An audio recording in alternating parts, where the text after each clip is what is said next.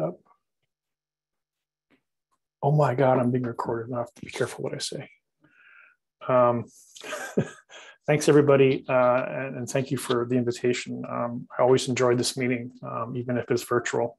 Um, the uh, presentation I'm going to give you today is, is a bit more uh, a combination of sort of a, a tour of, of the concepts around connectivity that we've talked about today in various forms, um, and then a bit more uh, of sort of some grounding, as I said in the abstract, to help you, uh, those of you who will be attending the meeting over the coming days, uh, get a better idea of, of, the when they talk about concepts, what they may actually mean, and hopefully it'll help sort of guide um, your thoughts and discussions um, as uh, as things move forward. I'm going to just change my pointer to a laser pointer for some slides. Um, this slide is actually all the logos from the uh, all 20 of the brain connectivity workshops um, that we've had. And it does show you, um, first of all, that the, we've, we've covered a lot of ground geographically. Um, I think the one, uh, the one that Signe came to is actually the one in Havana. Um, I will mention, and I'm not sure if Ed's still around, but I think one of the most memorable uh, discussions we had was actually punting on the Thames with uh, and Ed was actually holding a pint in one hand and punting single-handedly down the Thames. So it was definitely an interesting use of coordination dynamics and uh, breaking symmetry to get from one place to another place. Um, the point of this slide is really to talk about the fact that this notion of connectivity has been evolving um, over the course of, of this meeting and over the course of science as it has evolved in the ensuing 20 years. It is kind of stunning to think about the fact that this thing, in fact, happened the first time in Dusseldorf in 2022 when um, Rolf Kötter and Karl were the co-organizers for the first uh, workshop. And now we're sort of back at the same place in 2022. And it's, it's, it's uh, nice to reflect upon what we've achieved and have not achieved in that, in that point in time. Um, generally speaking, um, the connectivity that we think about in the brain spans uh, two dimensions. One is a bit more static, and that being the anatomy. And this is the famous figure from the Felleman Van Essen um, papers. You can think about as almost the first connectome, although it's not truly that. Um, it's basically just the summary of all the connections that had been mapped out at that point in time for the primate, uh, the monkey, I should say. Um, cortex. Um, we do try and estimate anatomy um, with diffusion tensor imaging. That's been applied across a number of species, and you've heard some examples today. Um, anatomy, you can think about as sort of the pipes, the conduit that allow um, different parts of the brain to work together um, and interacting.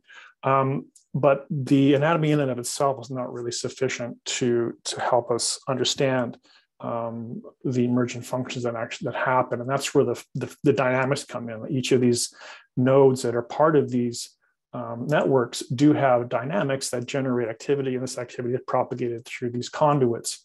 And so we have conduits and we have communications, and they are constantly uh, interacting with one another um, across space and across time, as we've heard um, earlier today. So what I'm going to try and cover today are, are, are three um, aspects of connectivity um, we've talked a lot about all three of these different uh, versions. I'm going to start with the idea of structural connectivity. And historically, um, obviously, this is the one that's been around longest, and it is um, structural connection. It's meant to indicate that there is, in fact, an external connection between um, regions of the brain. Um, it is meant to indicate that it could be directional. So you can have connections that are um, reciprocal, or they can actually be stronger in one direction than another. And that's the important feature of structural connectivity. Um, it is inferred. Um, it is inferred from tracers. Tracers are a pretty good estimate of the connection strength between two regions, but there is some slop in, in, in, in, using tracers to measure the brain, even though people will tell you that's, that's the gold standard. If you've ever done it, you'll realize that there's a lot of measurement error in actually using tracers. Um, tractography is the more, more recent one, um, and uh, structural connectivity it does vary, but it varies relatively slowly um, across time.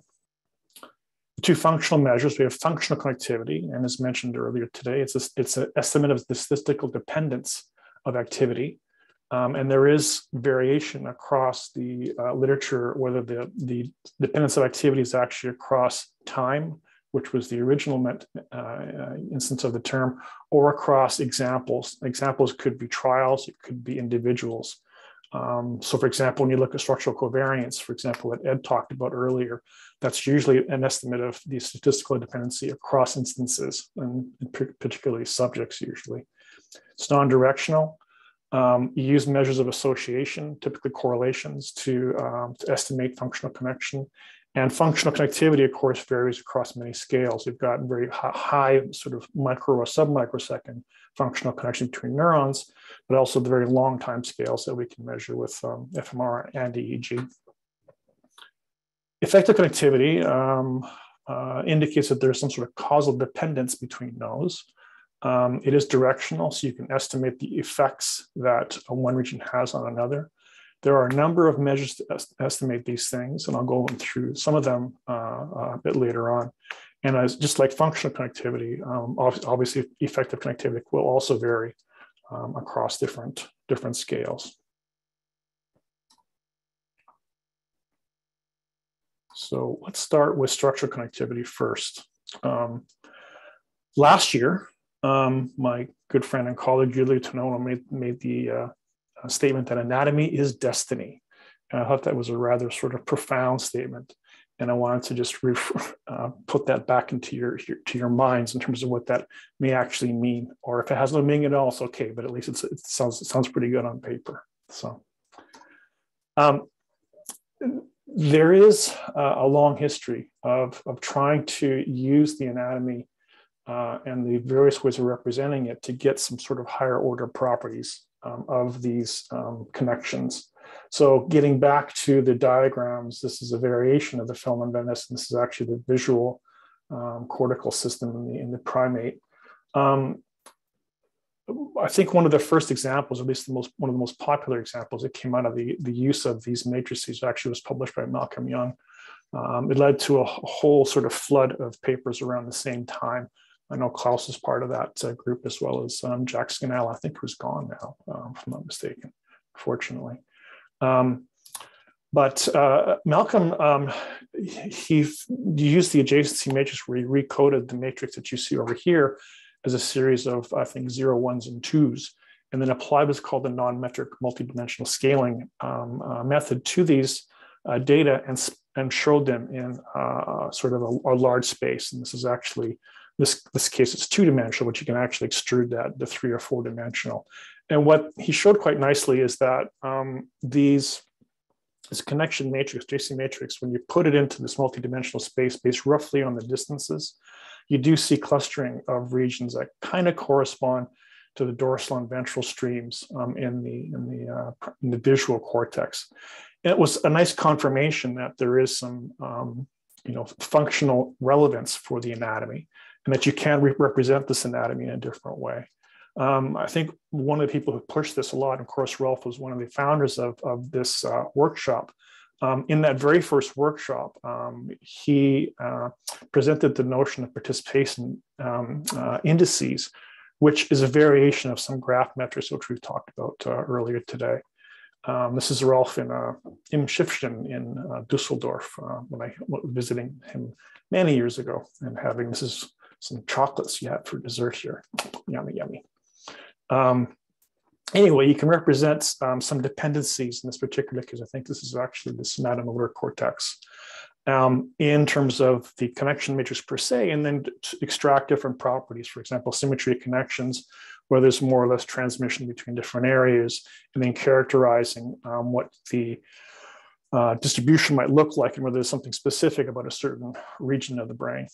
Um, and that, of course, led to the explosion that we had heard about earlier today about the application of graph theory uh, to the brain. Graph theory has been around a long time. I'm not going to go through the details. I think um, it was covered quite nicely by Alex um, earlier today, um, as well as Ed in some context as well. But you do uh, get, you do have to understand that graph theory is, is not specific to the brain. It's been applied to a number of different fields, um, and it's been quite helpful in being able to, to, to utilize the language of graphs and applying that to things like the brain. So it gives us a new language to be able to communicate what we're seeing um, in, in, in the nervous system. Um, you saw this, uh, this diagram earlier.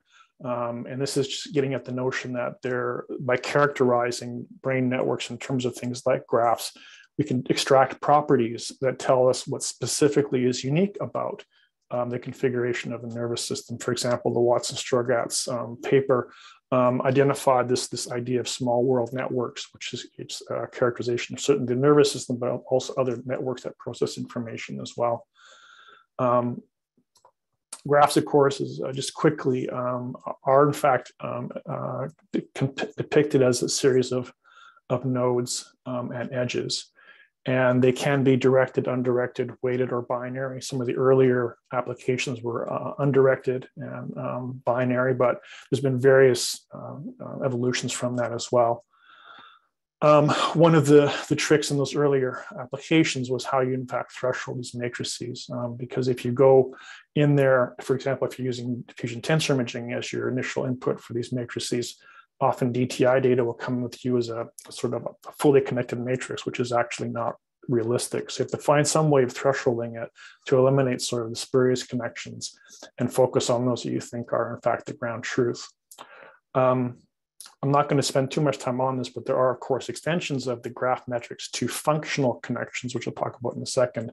And there too, the thresholding becomes quite important uh, to know how do you eliminate and why would you eliminate connections that are close to zero but not necessarily zero and that's a, a controversial area that we can uh, talk about when we're punting on the Thames with a pint in, uh, or something like that. Um, the applications of these graph uh, metrics to the brain, there's uh, several. Uh, again, I'm not going to go through them all. This is some of the earlier ones with people who are um, you know, part of this group, Olaf Sporns, Chris Honey, uh, and, and Rolf um, and again, um, this, this notion is to, to, to help identify certain regions or collections of regions that have specific features that differentiates them um, from other brain um, networks or brain regions. Um, here we're talking about characterizations of certain parts of the uh, cortex in terms of participation coefficients, how many networks do different brain regions get involved with. This idea that we could use the connectome uh, to, to get a better understanding was uh, further um, elaborated and, and um, by, uh, again, Olaf, um, Giulio, and Rolf um, by a very seminal paper um, that was published around 2005 that talked about the idea, at least, of building a human connectome. And this preceded the Human Brain Project by um, several years.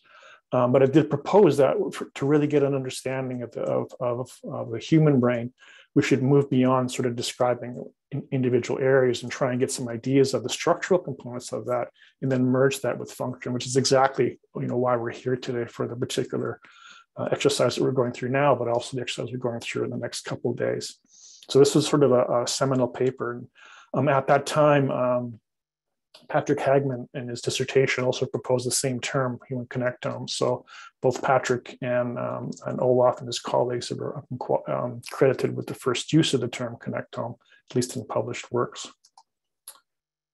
Um, and in fact, this, these, these people ended up working together and taking some diffusion tensor imaging data from um, the, the data that Patric had collected um, in five subjects, but it was quite quite high number of um, uh, high resolution at least and looking at character, characteristics of, of, the, um, of the connectome uh, measured with structure.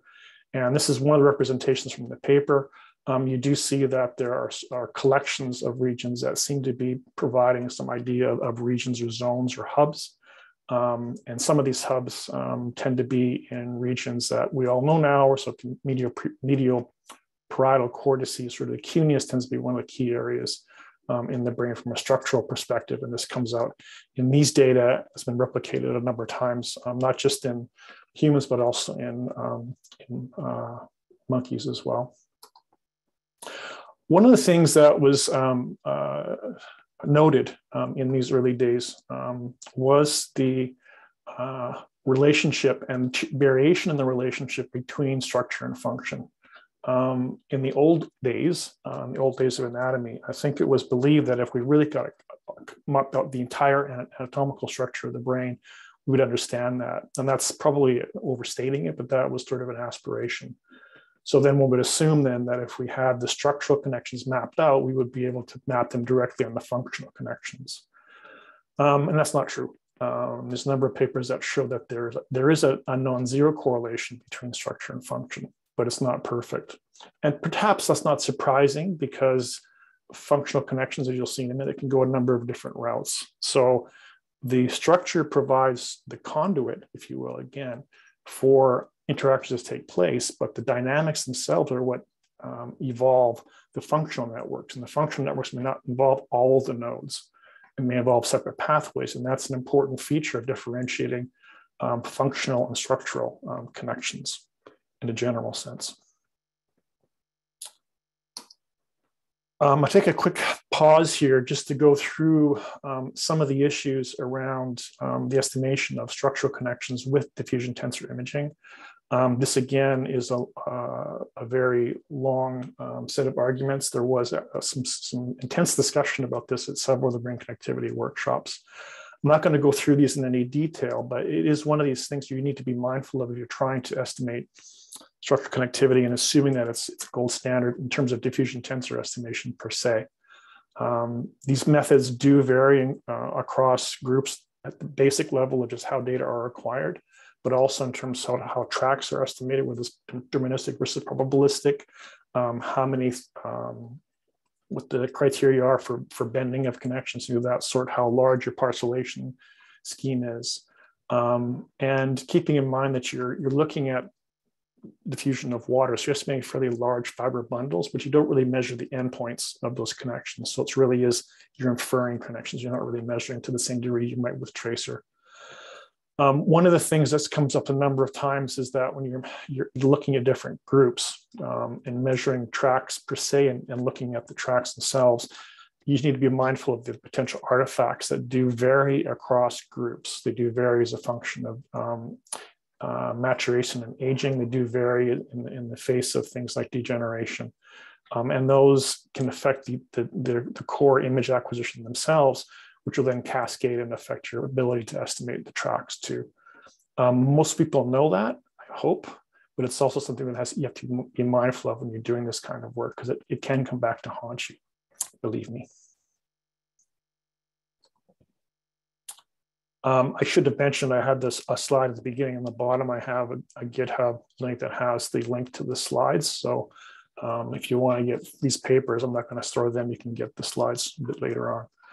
Let's talk about functional um, connectivity. Um, so why would you want to go ahead and do this functional effective connectivity measure? Um, uh, the first reason is that you know we can measure networks with with structural connectivity for sure. But functional networks really require you to go the extra step and look at how regions are at least varying together in some way, shape, or form. Um, there are, of course, uh, you can you want to infer when you look at an activation map, for example, that these areas that are activated by a particular task are a network. That's not necessarily written in stone. You do need to look at some higher order metrics between these regions, like covariation, um, to get an idea that they're actually, in some ways, um, functionally connected at least.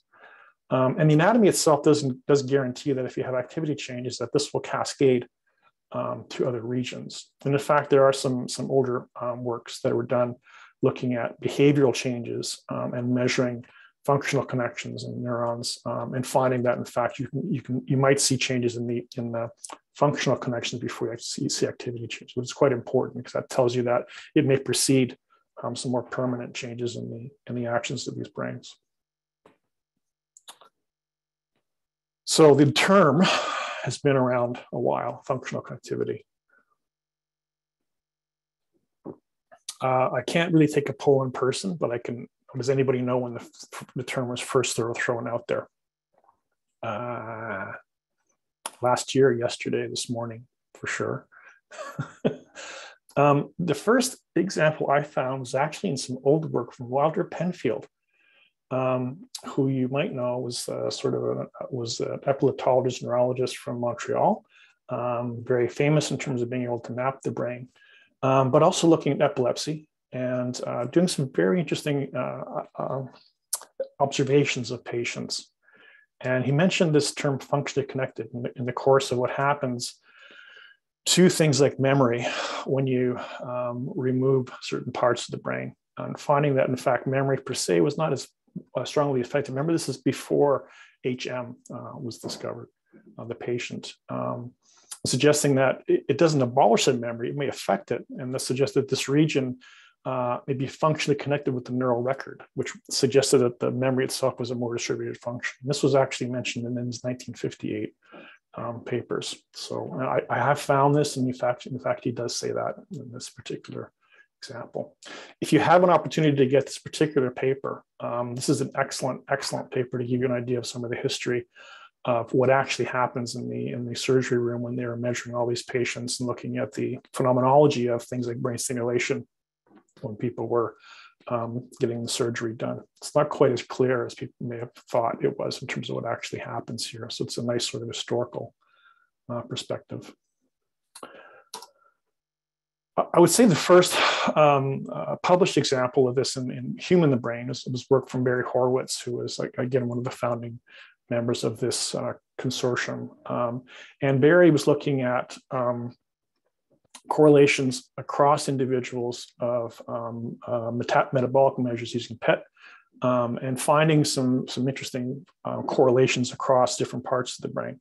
It's interesting that the, the idea of resting state was, was introduced here. These people were actually just sitting in the PET scanner um, and having, uh, I think was eyes closed. But anyway, um, this was sort of the first example of, of functional connections in the most general form of the ter- use of the term. Um, and these, these were actually quite informative just from getting a general idea of, of how useful these metrics were, um, but also then developing them for applications elsewhere. Um, Karl and his group, for example, introduced a number of techniques, one of them called PPI or psychophysiological interactions, which is looking at the variations of functional connections as a function of task. Um, and it showed that sometimes you can just do that and get a pretty good idea of what's, what's happening. Um, for example, this was an early uh, um, paper from the, the UCL group looking at changes in um, functional connectivity as a function of as a function of fear conditioning and showing that um, uh, a difference in the connections between the pulvinar and amygdala, uh, depending on whether you see an actual uh, condition stimulus or not. Uh, a, a, nice little story, very tight uh, correlation pattern. And this was, was a nice example of PPI being used. Um, dimensionality reduction has been mentioned a couple of times, at least today. Uh, I think one of the ones that's been pushed a lot in terms of being able to extract functional networks is independent components analysis. Um, it is, you know, you can think about it as a, as a, as a slicker form of principal components analysis. Um, they do often give similar answers, although not necessarily identical. Um, so I will have that caveat. That's my opinion, at least. Um, but uh, the notion here is that you're trying to, to take a large data set you've got, for example, if you put it in voxels um, and reduce it to some lower dimensional space that you can understand. And this has been used. Um, it was uh, it was used a, a lot in, in, the early days as a way to eliminate artifacts, um, which it does a great job of doing. Um, but it also allows you to again look at instead of looking at all the voxels, you can look at a subset that are representing some sort of network and look at how those networks vary um, across individuals, for instance, um, and so on. And uh, uh, Jessica Damoiseaux, who was part of our group as well, um, the, the, collective, um, as it were, uh, early on, um, working um, with the people at, at, Oxford as well as her group in uh, uh, the Netherlands, um, were amongst the first to, to, identify these sort of consistent resting state networks and independent components analysis. Thank you for writing on my screen. I appreciate that. You, you do see some of the sort of canonical networks that we see. You know, the default mode networks are here, uh, visual cortices are here. And these ones, you know, depending on your parcellation and dimensionality, you do get slight differences in the, in the configurations of the networks, but they do seem pretty stable uh, across um, individuals and across fMRI studies.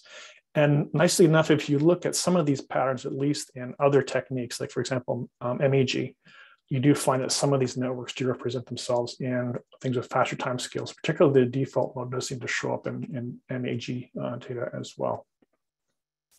Um, functional connectivity usually is measured across a long time scale, relatively speaking. So it's usually across tens and twenties of minutes, for instance. Um, so it's considered almost like a stationary measure in some respects. Um, and uh, um, a number of groups have um, looked at the sort of stationary component of this and, and breaking it down into the various networks. This is work from Allen et al. And cerebral cortex, just finding that these, these ROIs do sort of cluster in the canonical networks quite nicely. What sort of evolved from that um, was a number of groups who observed that if you look at time windows, the sliding time windows of functional connections across um, the, the uh, epoch of scanning, you do find that the functional connectivity patterns in these networks do vary, suggesting that even though you can think about these networks as being uh, not really stationary, but at least there over a long period of time, their configuration does change. Um, so network affiliations can change, and the nature of these transitions may in fact provide more insights into cognitive dynamics. And this is an important aspect of the evolving ideas of functional connectivity that it's not something that's static. It does change. It could change as a function of just what you're doing. It could change as a function of, of age, of different kind of disease groups, and so on. And these dynamics, these patterns that are that are that are evolving, could be a, a very important aspect. In fact, this kind of comes back to some of the ideas that Heba was talking about about trajectories and so on. That these dynamics reflect, in, in some respects, trajectories, and the trajectories could could in fact be. Come on and what am I going forward? Trajectories could be good things. The direct trajectories could be indices of um, uh, cognitive status. So for example, this is a great paper from Joana Cabral and colleagues using what's called LEiDA, which is a decomposition method, which allows you to look at dynamics of functional connectivity. And using that, you can, you can look at the probability of transitioning between different patterns of functional connectivity. And what they reported was that um, older individuals who had um, good cognitive status showed a particular pattern of preferred trajectories indicated by the green arrows, whereas those that had poor cognitive status tended to have trajectories that were more indicated by the uh, black arrows, suggesting that not just the pattern per se, but actually the temporal evolution and the preferred temporal evolution um, of the trajectories was related to cognitive status, which is a very cool um, observation and one that I think needs to be followed up further as we evolve the notion of functional connections and particularly functional connections um, across time. Um, let's move on to effective connectivity now. Um, um, I would say one of the first, and this is bragging, one of the first um, examples of, of, the application of techniques to measure effective connectivity in the brain was some work that I did a long time ago um, using what's called structural equation modeling, um, which is a causal modeling tool. Um, and the notion here is that you may have some nodes that you um, use some existing information to, in, to impart them with some directional connections um, in this case, we'll call it anatomy is a good thing to use as a prior, for instance, and we use that here. Um, and using the covariant structure or functional connections, you can decompose this covariant structure to derive weights or effective connectivity weights for the different connections. This can be done, um, you can represent it as structural equations, you represent that in matrix form as well, and get the um, derived or implied um, covariance matrix and compare the implied to the observed and then get to the point where they actually converge to some asymptote. And that gives you the estimation of the effective connections. Um, the paper we published on that uh, many years ago, uh, it's kind of, I don't want to say how long ago that is because I can't even calculate that number. It's a large number of how long ago it was. But this is based on some uh, very simple behavior studies in rats.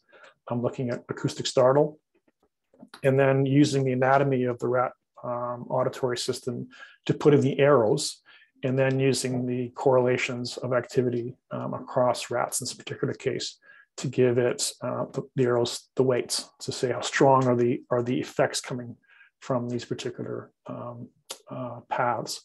And we found differences in terms of short-term versus long-term habituation. I won't go into the, the details here. Do you in fact get some, some group-dependent changes in the um, effective connections? Uh, it can get quite complicated. This is some work I did with uh, the group at NIH, including Barry um, Horowitz, um, where we looked at a fairly large cortical model. There's, um, I think, uh, 11, uh, no, wait, 22 regions and about 140 connections that are estimated here simultaneously. Quite complicated. Took a while to do the the modeling and interpretation. But from here, you got a fairly good um, uh, um, interpretation of what you see happening as a function of changes in working memory delay.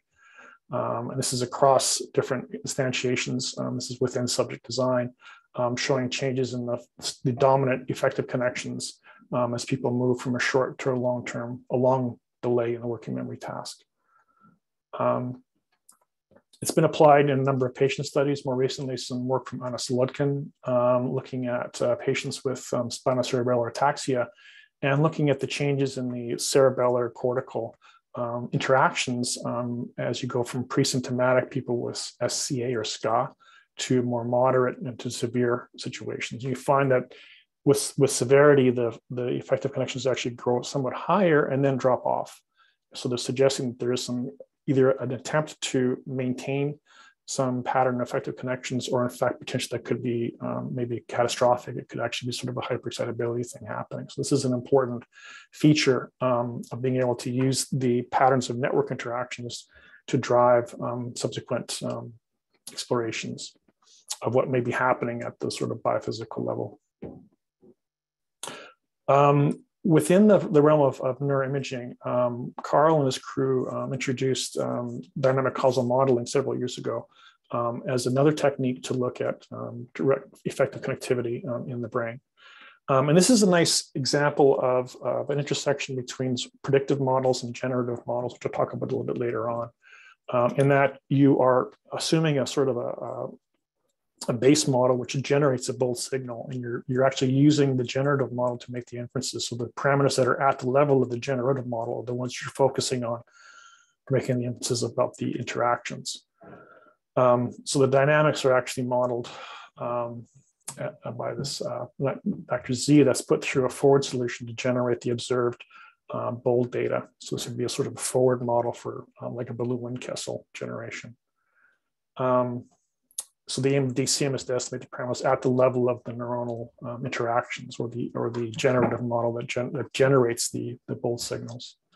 Um, this is uh, an example of that in sort of, a, and again, a, a, a, cartoon where you have the interactions at the neuronal level that are happening um, within each of the neuronal uh, populations um, that generate a bold signal. And that's where the um, the inferences are driven. So you do the fitting here using a Bayesian minimization technique.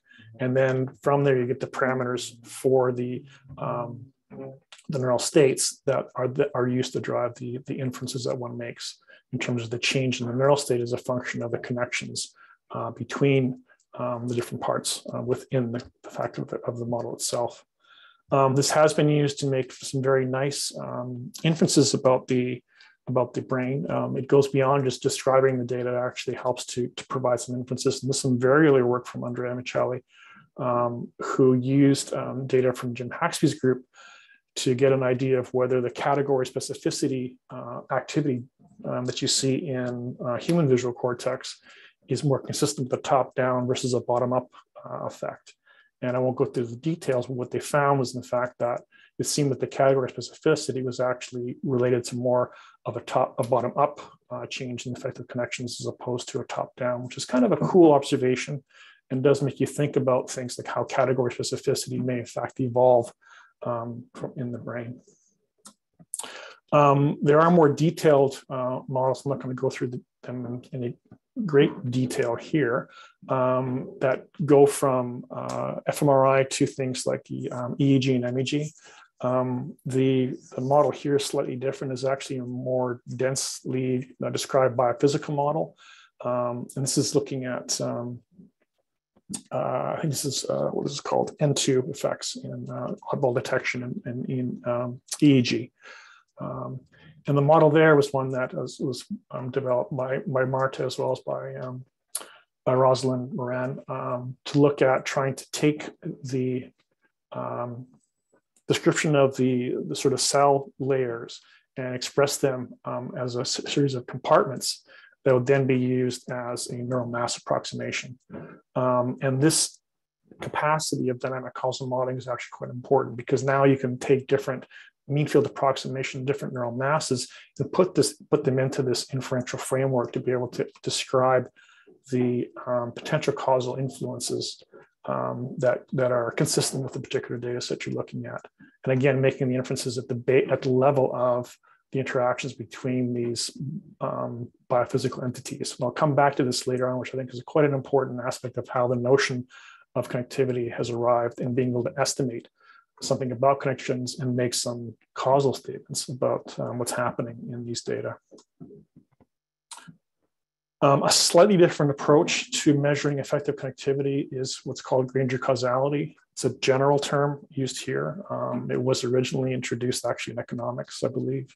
Um, um but it's really looking at time series uh, effects and whether um, the time series you see for a particular variable um, is related to the time series of another variable. So for example, there's a variation in the time series y.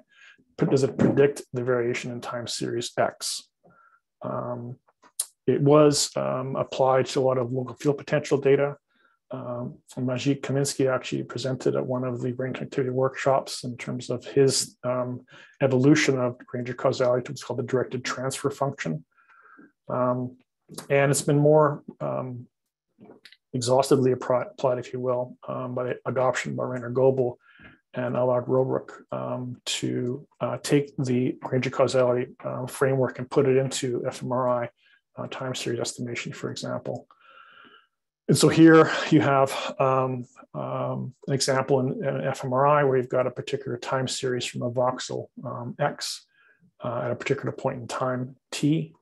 Um, you've got its, its previous um, history, so the time series of X prior to a particular point in time, and how it predicts itself. So this is basically an autocorrelation function or how well X predicts its, its, its future. Um, you then have time series Y and its, um, its uh, history prior to that particular point at time T, and how that predicts um, that the current version of, of X. And then you have what's called instantaneous uh, effects. So the traditional Granger formulation is whether or not um, the additional information you get from the history of Y predicting X is greater than what X predicts by itself. And that's the difference in sort of Granger formulation. You get more information by having the history of Y predicting X. And so in the fMRI framework, um, uh, you'll often hear Rainer and colleagues talk about um, Granger causes, which are basically the history affecting the current point in time, and also instantaneous causes, which are the um, direct correlations at a particular point in time. Because of the, the time lag in bold, this does make sense because you are missing some information because you're doing a convolution in terms of hemodynamics.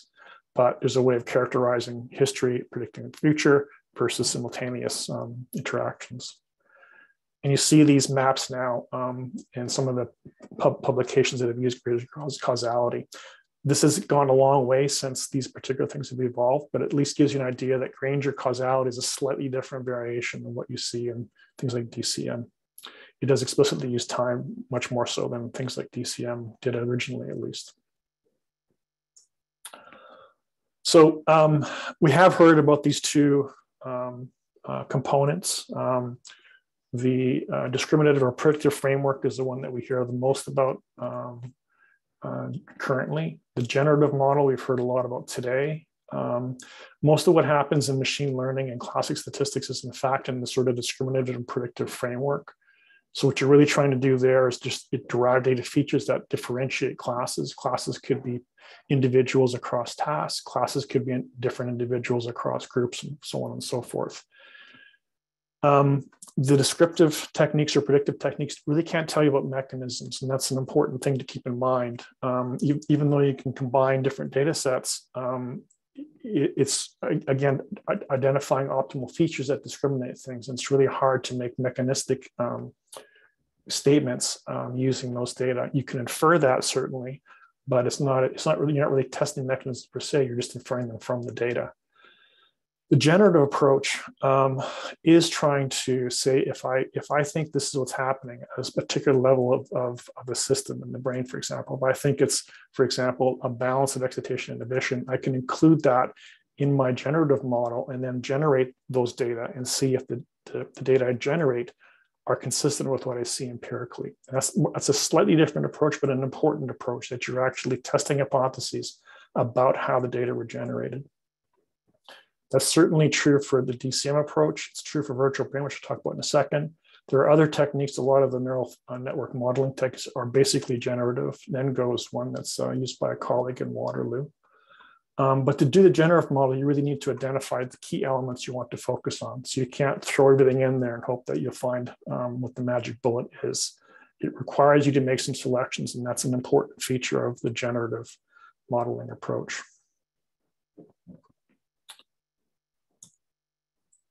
Um, one of the methods I would say is uh, a really good example of sort of the, the full Monty version, if you will, of the generative approach is in fact the virtual brain. Um, this is a method that um, was introduced, I, I, think, initially in 2012 to the neuroscience community. Um, it had preceded that. Um, again, it was a it was a derivation from our brain connectivity meetings um, through a number of conversations the broad uh, members of the community. Most of you who are on here actually probably talked to us about virtual brain at some point in time in the past.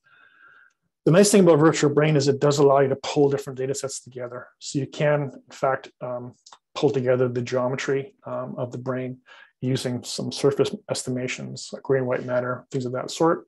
Do it in a parcellation. You then can derive the inferred structural connectivity. You can use the other uh, methods. For example, you can use um, track-based uh, methods, for example, in the mouse or on, on the monkey, and um, get a, a, directed connectivity matrix, but usually it's non-directed.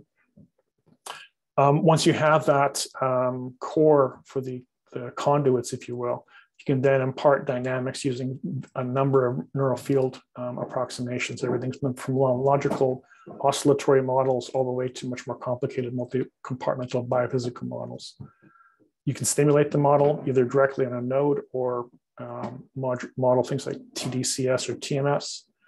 Um, and then through forward solutions, generate the kinds of data you see empirically. Um, LFPs are generated sort of as a, as a default, but you can generate also MEG, EEG, stereotaxic EEG, and functional MRI, and use that um, as fitting criteria for your empirical data. So the nice thing about the generative approach um, is you can have the model um, fit to individual data sets. DCM does that, um, and TVB um, does that as well. Um, you can download the, the, the code um, from, from the web. These are the people who you can blame for the development of the technique. we are happy to be blamed for doing that, but it's our fault, if you will. That's myself, Viktor, Jirsa, who's out here, and Petra, who's hiding in the background somewhere. Um, there are some great examples, and um, I'm not going to go through the great de the, the, details of these examples um, in a um, uh, great detail, but I just wanted to point out that um, you can, for example, this is one of the first applications where you can merge data. That would be things like the person's um, uh, cortical surface, um, you can uh, identify the, the different uh, triangulations to get sort of a mesh, identify regions of interest um, in an individual, um, identify the centers, identify the um, connections using, again, diffusion tensor imaging in an individual, and then generate um, data that you, um, from the local field potential, you can generate, of course, from forward solutions EEG activity. you can generate generate fMRI, which have a different time, uh, time scale um, than the EEG uh, data. You would see the EEG data working at the level of milliseconds here. Here we're looking at bold, and these are working also milliseconds, but you see the evolution of the activity across regions of interest is much, much slower. Um, and then finally, of course, oops, finally, of course, you can generate, I don't have it here, um, the local field potentials themselves. And the important thing here is that the same biophysical models generating these different kinds of, of uh, simulated data, which can then be used to, to map to the individuals. So some papers we've published, uh, this one here from Schirner et al., um, actually used merged fMRI and EEG data to get a better idea of, of the biophysical parameters that vary to generate both kinds of data. Again, some very interesting ideas about the balance of excitation and inhibition um, in generating intrinsic activity uh, in the brain. Um, probably the most uh, exciting example, I think, in the application of, of, generative model two application is some work from Viktor's group looking at epilepsy. Um, this is using a phenomenological model called the epileptor, which just looks at the excitability of different parts of the brain and how that excitability propagates to different parts of the brain. Um, and whether that propagation pattern can then be used to inform where is the likely focus for the epileptic seizure. Um, and here you have an, an, indication where you've got um, a, a, single patient with a simple seizure, a complex seizure, and um, a simulated seizure. And you see that the simulated seizure and the complex seizure are very close to one another, suggesting the model's working. And then you can use that to map out where in the brain are the different potential sites for the propagation of the seizure, and then use that again um, to inform where you want to intervene. And that's in fact at the, heart of a, a, national clinical trial going on in France, looking at using the epileptor model um, to guide um, surgical interventions uh, in patients. So it's a great example again of going from the concept of connectivity, structural connectivity, functional connectivity, a generative model, and then being able to use that con- confluence of connectivity to then inform clinical decisions, which is a fantastic, I think, outcome of the 20 years that we've been doing this work um, in the brain connectivity group. So end um, with um, a paper that um, I guess one of the one of the, the, founding members of brain connectivity talked about this notion of the elusive concept of brain connectivity. And um, you know, uh, one of the things that Barry had mentioned in the very last parts of that particular paper was until it's understood what definition of each of the um, measures of connectivity are and the underlying neural substrate, comparisons of functional effective connectivity across studies may appear inconsistent and should be performed with great caution. So I think that that sensibility still exists today. We have a number of different ways of, of measuring functional connectivity, structural connectivity, and effective connectivity. And my message to you today is really more to focus on um, being very clear on how you estimate those things um, in the papers, in your discussions, in your talks, one another, and then being mindful of how to integrate the different ideas of, of these techniques and using things like, for example, DCM and TVB to generate these models that allow you to better understand what are the, the, the um, features in the empirical data that are important to generate these different kinds of, um, kinds of effects. So with that, I'll stop here and thank you all for your attention. I'm thanking a thousand collaborators and millions of grants that have supported these, this work um, over the uh, 20 years we've been doing this. It's been a fantastic journey. I'm looking forward to the next 20 years.